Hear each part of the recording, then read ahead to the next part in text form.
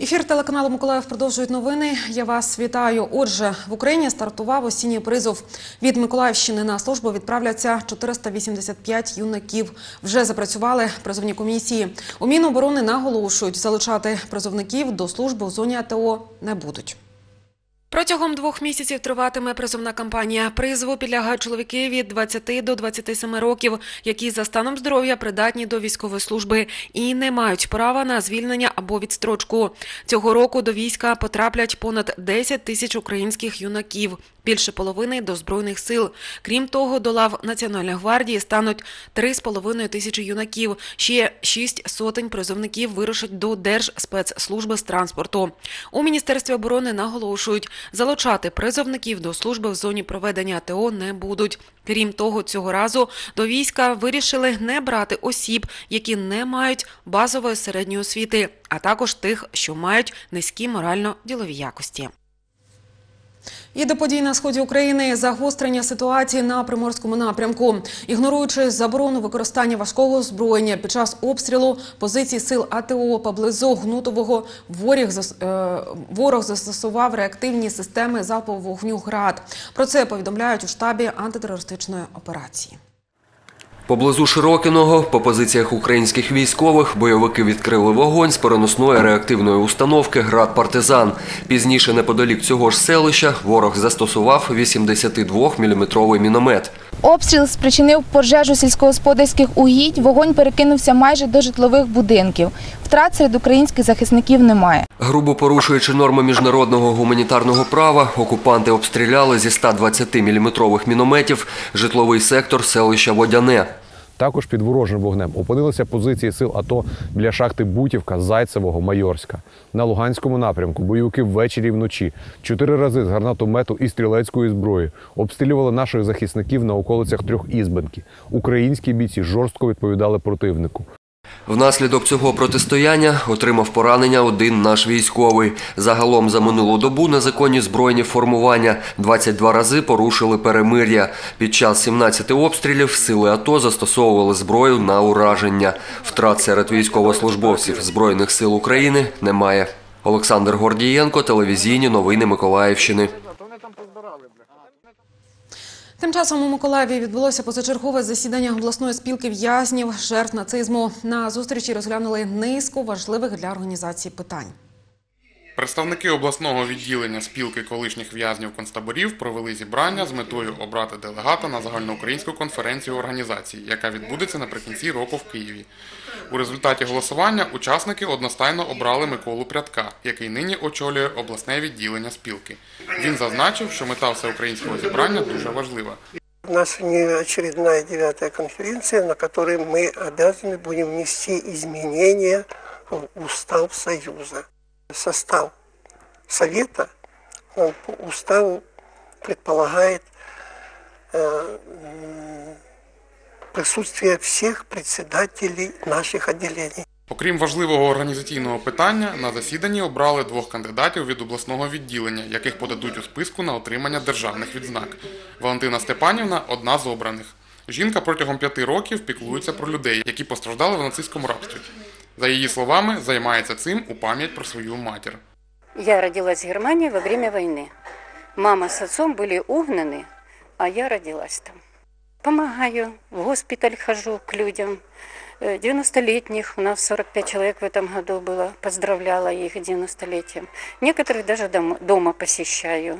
Чисельність організації з роками суттєво скоротилась. Нині відділення області налічує близько шести сотень людей. Тим не менш, спілка живе і проводить виховну роботу в місті та в області. Володимир Степанов, Ігор Дорошенко, телевізійні новини Миколаївщини. Мешканці будинку номер 24 по вулиці 3 Слобідська від самого ранку чатують на подвір'ї. Вони намагаються не допустити встановлення на будинок загального газового лічильника. Чому працівники Миколаївгазу встановлюють пристрій обліку без згоди людей, які проживають в будинку, намагалася з'ясувати наша знімальна група. Нещодавно на дверях будинку з'явилося оголошення про встановлення газового лічильника. Мешканці будинку в один голос висловлюють свою незгоду. Не хочу платить за кого-то. Хочу платить только за то, чем я пользуюсь. За воду, которой я пользуюсь, за газ, который я пользуюсь. А за остальное я не хочу платить. Світлана Виштаченко наразі на пенсії. Розповідає, коштів, аби оплатити комунальні послуги, не вистачає. Жінка боїться, що після встановлення лічильника на будинок платити потрібно буде ще більше. Если бы мне не- не помогали дети, я бы абсолютно не могла существовать. У нас пенсия меньше, чем коммунальные платежи. Нагрузка на детей. Окрім невдоволених жителів будинку номер 24, поруч в одному подвір'ї чатують мешканці сусідньої багатоповерхівки. Їм також неодноразово намагалися встановити газовий лічильник. Были такие случаи в Николаеве, что приезжали ставить в один дом счетчик и поставили в другой. Или без, вообще без а, объявления приехали поздно вечером, там 6-7 часов вечера.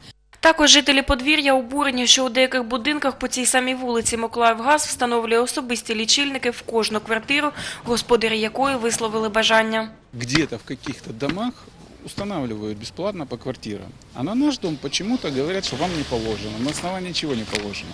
Поки наша знімальна група спілкувалася з обуреними мешканцями, співробітники Миколаївгазу встановлювати лічильник на будинок передумали. То не счетчик, то шкаф. Який шкаф? Ну шкаф просто. Що? Как знаю, там еще не счетчик, а ничего нету. Ну, буде Что ж там, не будет ничего. Наталя Забазнова, Андрій Заворотній, телевізійні новини Миколаївщини. Миколаївські рятувальники продовжують відпрацьовувати тактичні навички. Цього разу співробітники ДСНС ліквідовували умовну пожежу в школі-інтернаті номер 6. За легендою, пожежа виникла вночі на другому поверсі. Працівники інтернату повідомили службу порятунку про надзвичайну ситуацію та почали евакуйовувати вихованців установи. Втім, через щільне задимлення визволити вдалося не всіх. В одній з кімнат залишилося троє дітей. Пожежні підрозділи, що прибули на місце події в апаратах захисту органів дихання та зору, спершу провели розвідку в приміщеннях та вивели у безпечне місце дітей, які залишилися всередині інтернату. Потім вогнеборці ліквідували умовну пожежу. Навчання проводились з метою відпрацювання спільних дій підрозділів Миколаївського гарнізону та адміністрації об'єкта по гасінню умовної пожежі та ліквід... е, евакуації дітей. Загалом до навчань залучили 17 чоловік особового складу та 5 одиниць техніки. Наталя Забазнова, телевізійні новини Миколаївщини. І нині водії мають їздити з увімкненими фарами навіть вдень. Щоправда, за містом. Служба автомобільних доріг у Миколаївській області нагадує водіям транспортних засобів, що згідно пункту 9.8 правил дорожнього руху з 1 жовтня по 1 травня на всіх механічних транспортних засобах поза населеними пунктами повинні бути вімкнені денні ходові вогні, а у разі їх відсутності в конструкції транспортного засобу ближнє світло фар. Закликаємо всіх учасників дорожнього руху бути пильними і обережними, проводити технічний огляд свого транспортного засобу перед виїздом із дому та неухильно дотримуватись правил дорожнього руху. І відбулось чергове засідання Миколаївського міського клубу директорів. Основною темою зустрічі став оновлений склад виконавчого органу клубу.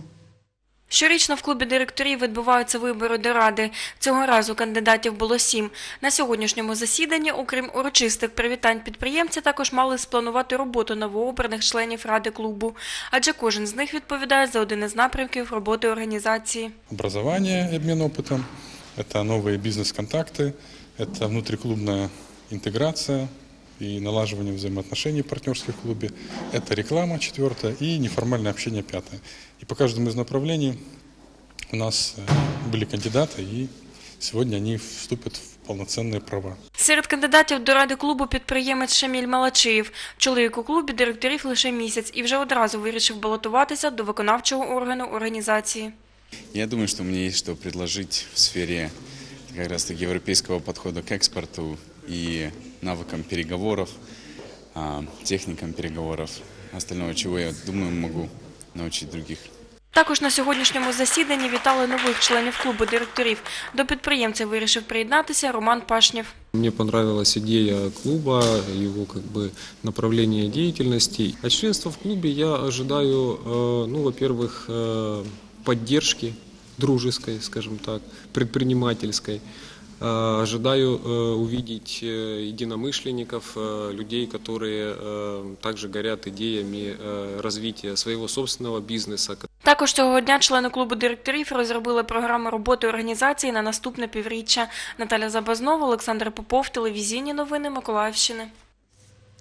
І це були всі новини, про які ми встигаємо вам розповісти на цей час. Наші знімальні групи працюють на інших подіях. І наступний випуск телевізійних новин Миколаївщини дивіться вже о 4 о 19 Тоді і побачимось.